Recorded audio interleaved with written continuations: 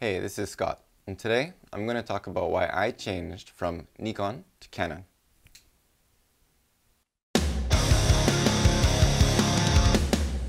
Alright, so if you're not following me on social media, please check me out, Scott Dumas Photography, on either Facebook or Instagram. Before we get into this, I just want to say this is my personal reasons for changing to Canon. It's definitely not a bashing Nikon video. I loved my Nikon cameras. It was really hard to let them go. But for me personally, Canon works better, and here's why. Alright, first off is color. Everybody always talks about that famous Canon color. And while, of course, Nikon files can also be photoshopped or processed in Lightroom or something to get whatever end result you want, it took more time for me. The JPEGs straight out of the Canon cameras look fantastic for me. I haven't even taken my camera off of auto white balance since I got it and the pictures are 90% of the time very, very close to what I would want them to be, even if I did a lot of post-processing. That's not something I could do with a uh, Nikon camera. So somewhere with a lot of control uh, in the studio, uh, planned photo shoot, I could use the color checker passport and of course this wasn't a problem.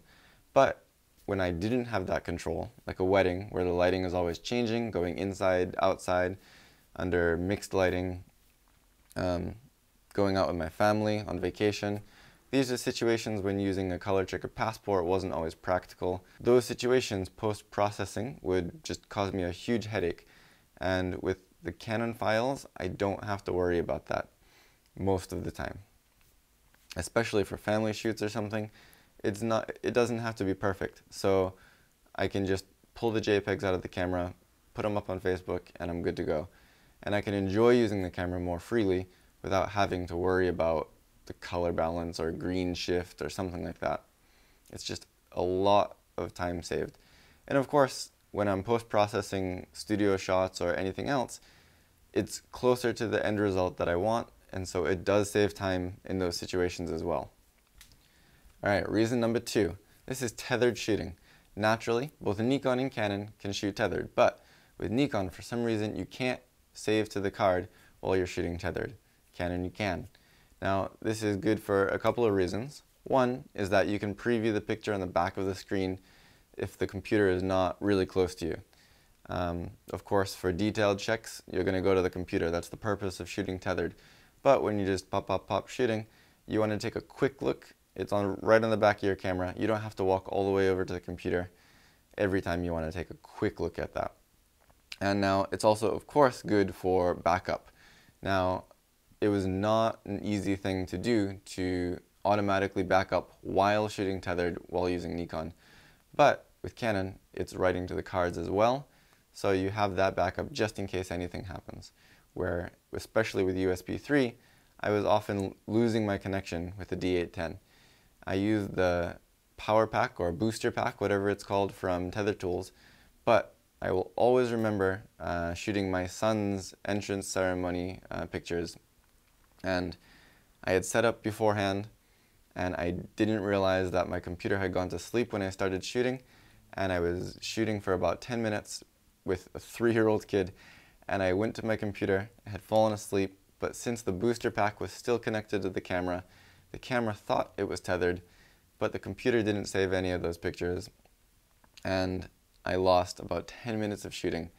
With a three-year-old, you can imagine how hard it was to get him to pose one more time after 10 minutes of pulling that patience out of him.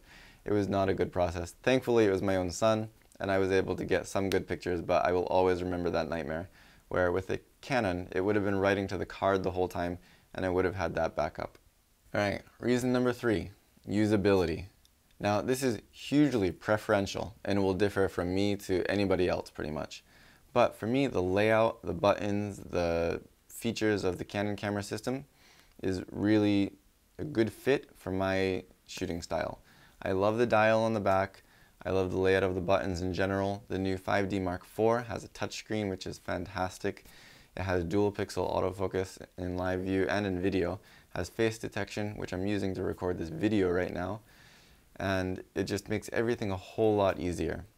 So just touching on a couple of those points, The spot autofocus is really great um, when you're trying to focus in an eyeball or even if you're doing some really close-up, not quite macro photography, but close-up photography where you want to use autofocus but you want to focus on a really, really specific point. The spot autofocus is a really nice feature.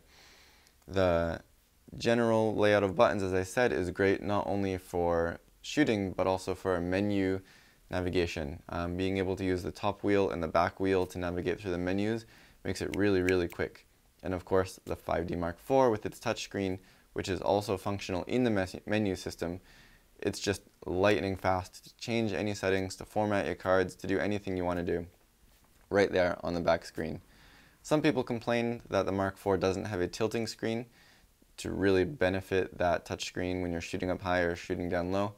I agree it could help, but I like a body without a uh, flip screen, so for me, it's not a problem. In comparison, I really dislike the D-pad on the Nikon bodies. Um, it was just not very smooth to use for me personally. Some of the bodies have a joystick, like the D4S and the new uh, D5, D500 I believe has the joystick on the back, and that's better, but it's still not as smooth or as fast as using the knobs and the wheel on the Canon camera system when you're navigating through the menu. Speaking of the little joystick, not all Nikon bodies have that. It's on the Pro Sports or whatever bodies like the D4, D4S, D5, and I believe also on the new D500. But on the D810, on the D750, we only have the D-pad. And so even for selecting autofocus points, that was just really clunky for me. I really prefer to have that little joystick. The 5D also has that joystick, which is really, really nice for me. One other small feature is the beep when you're using manual focus. Now, with Nikon cameras, it doesn't seem to be possible. It Could be wrong, but I could never figure out how to do that. But with the Canon camera system, you can have it give you the autofocus, it's not autofocus, but the confirmation beep when you're using manual focus which is really nice. Nikon, of course, has the little mark in the bottom corner, but that means you have to take your eye away from the focus point to check if you're in focus. But especially when hand holding, that means you're probably going to move the focus point and it won't be accurate anyway. So just to be able to hear that beep when you're in manual focus is a really big help with the relatively small viewfinders of DSLRs. Alright, the next reason is lens selection. While both Nikon and Canon have some amazing lenses, and many of them are very comparable, there are some things that really pulled me towards Canon. I'm a big prime shooter, and of course, Canon has the 1.2 primes. They also have the 135 f2 modern autofocus prime, which is one of my favorite lenses. It's what I'm recording on right now, actually. And for Can uh, Nikon, I was always a little bit not perfectly satisfied, especially with that focal range. The 105 and 135 f2 DC lenses are, they give amazing pictures, but they're not as fast, especially for autofocus tracking when I want to use them with my kids that are always running around or pretty much any high speed motion situation. The new 105 f1.4 looks gorgeous, um, but a lot of people say it gives a really flat picture, so I don't know about that. It's also maybe not fast enough autofocus for sports. I'm not sure, I've never had hands-on with it. Um, but it's also insanely expensive. The 135 f2 from Canon is really affordable, especially if you can find a good copy used, which I did. So that was one of my first lenses that pulled me over to Canon. Of course, the 50 and 85 1.2 are something that Nikon just doesn't have in a modern lens. And I personally got the 85 1.2. I love it. It's a little bit slow to autofocus, but it's a portrait lens specifically, and for that purpose, it is more than enough, and it gives a very unique picture. I love it. I loved the Nikon 85 1.4 as well, but there's just a little something special about that 1.2. Now going over to the 70 to 200, I don't use that much, but if you're going to compare, the 70 to 200 from Canon doesn't suffer from the same focus breathing as the Nikon version does. I've heard rumors that the Nikon version will be updated soon, and I'm sure that it'll be one of the issues that they that they fix in the newer version. But for now, the Canon version seems to be the superior lens, if only by a little. One other small point about lenses is uh, while Nikon's 1.8G lenses lens series is really, really great quality-wise, image quality-wise, the build quality always bothered me. They felt extremely cheaply made, even the ones that are not so super cheap. And the focus ring especially felt like cheap plastic rubbing on cheap plastic. There was always a little bit of play in the focus ring. Um, and just the build generally didn't make me feel confident. Um, but the cheaper lenses, especially the STM lenses from Canon, the 40mm 2.8 Pancake, the new 50 1.8 STM, that whole cheaper lens series, to me, feels better made. I don't know if they actually are or not, but they feel better made. And also the focus ring, it's focused by wire, but it's just beautifully smooth and there's no play. It's a wonderful focus ring if you want to use that. It's small, of course, but it's very smooth. So for me, using some cheaper lenses when I'm out with my family, I didn't feel like I was sacrificing build quality. And of course, the image quality is also on the same level almost as those 1.8G lenses from Nikon. Also, one more point about the lens selection from Canon is that they have, in my opinion, a better selection of wide-angle zoom lenses. Uh, they have the newer 11 to 24 f4, which is just extremely wide, um, they have something wider than that. That's, I think, technically a fisheye. Uh, they have a few different versions of the 16 to 35, both f2.8 and f4 with image stabilization. And they're all of a very nice quality. Now the Nikon 14 to 24 is probably still a little step above those quality-wise, but for selection availability, variety, Canon wins hands down. Um, and almost all of those lenses for Canon can also take filters. They're smaller, they're lighter, and for me, more practical to use than a huge lens with a giant front element that I'm always worried about damaging, a lens cap that I don't have confidence that will stay on. Even the 11 to 24 from Canon, I believe, has clips on their lens cap, which is a slide-on lens cap similar to the Nikon 14 to 24. So it feels a little bit more, I mean, it's only a lens cap, but it's just those small details that, for me, seem nicer as far as selection and usability goes. All right, so I've been talking about Canon, Canon, Canon, Canon, but here are some things I do miss about Nikon. First, of course, is everybody seems to be talking about is the dynamic range. The 5D Mark IV, of course, brought that gap a little bit closer, but still the D810 was king.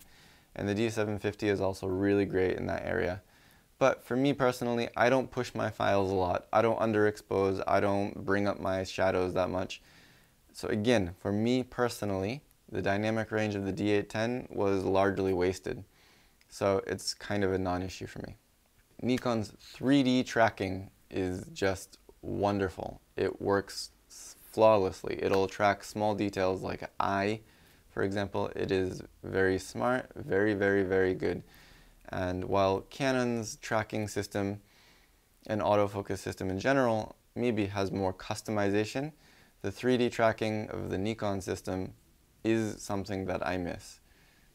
Again, that being said, Canon is good enough for me 99% of the time, so it's not something that's holding me back from moving over to Canon. Now this may be a small detail, but the autofocus points in the viewfinder on Nikon are always lit up. With Canon, they're not. So sometimes you'll be searching for where your AF point is, and if you move it, it'll light up when you move it, so you can find it just by moving the joystick a little bit. But there are times when you put it up to your eye and you can't immediately find where your autofocus point is.